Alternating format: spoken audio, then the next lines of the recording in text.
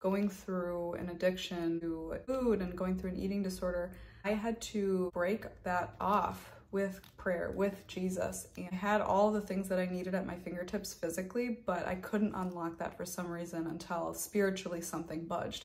Welcome back, Health and Wellness Tribe. Today I'm going to pray for you. Those of you who are struggling with your weight loss journey, sometimes we have a will and we have a way, but for some reason, things aren't moving in the direction that we want. We're not meeting our goals, and let's invite Christ into that.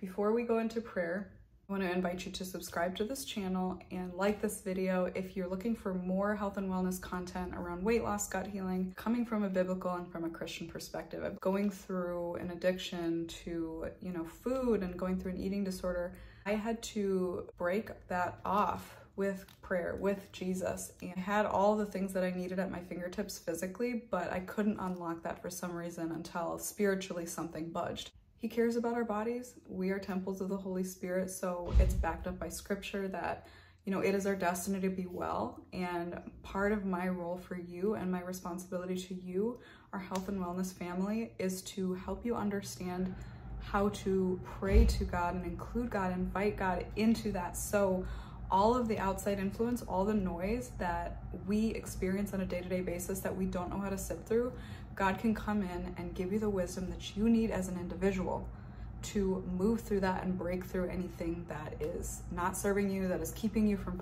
like moving forward in the family and invite a friend, share this video. More people need to invite God into their health journeys so we don't feel like we're doing this in our own strength. We're not supposed to do this in our own strength. And what better way to move forward as a Christian than to invite God into your health journey. I can't think of a better way. I do it all the time because I feel like I'm always running out of my own strength. He says in Isaiah 40, 31, those who hope in the Lord will renew their strength. They will soar up on wings like eagles. They will run and not grow weary. They will walk and not be faint. Good. So before we dive in, there's a couple of scriptures that I felt God put on my heart to share with you that you can meditate on as you sit down with your own prayer time and your own quiet time and seek him.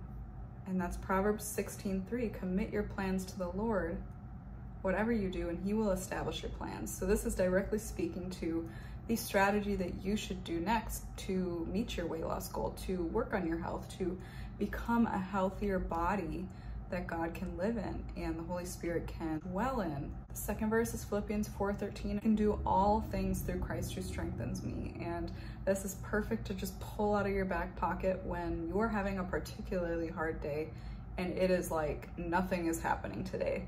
Sometimes what we need to do instead of just laying back down or sitting down and skipping what we know we should be doing is pulling out a scripture and just saying a quick prayer inviting the Lord into it and just speaking. I speak Philippians 4.13 over you, exhaustion that is keeping me from going to work out Sometimes, yes, our body needs to rest, so I don't want you to misunderstand me. Third is Hebrews 12, 11. No discipline seems pleasant at the time, but painful. Later on, however, it produces a harvest of righteousness and peace for those who have been trained by it. I believe this is speaking to how when we have to put our hands to the tools to produce a harvest, we need to do the work. It's not gonna be without work. We're gonna have to work hard.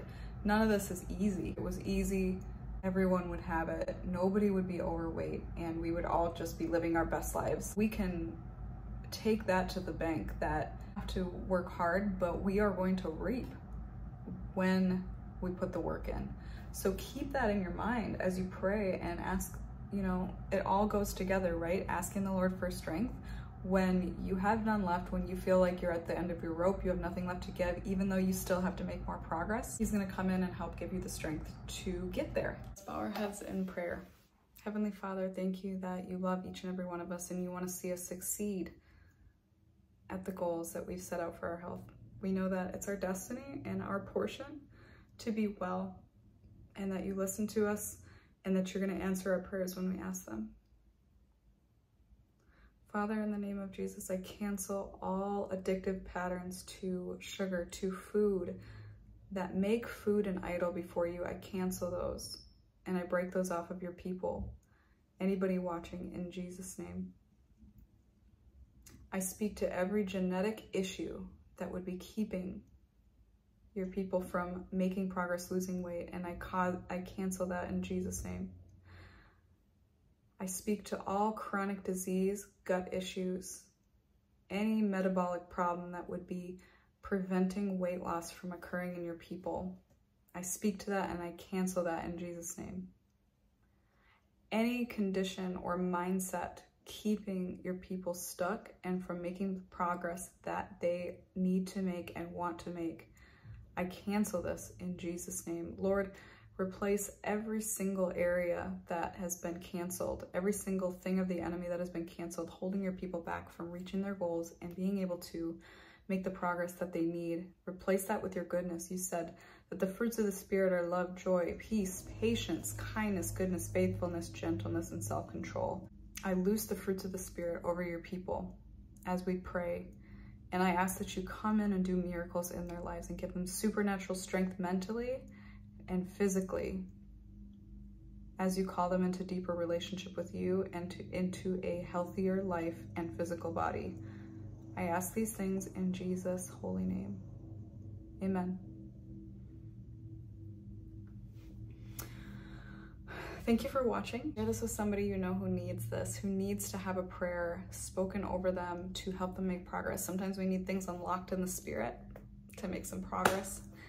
And how will you know what that is if you don't ask the Lord? I pray that this blessed you and I invite you to subscribe to this channel, join this family, become a part of us, and I cannot wait to see you in a future video. Bye.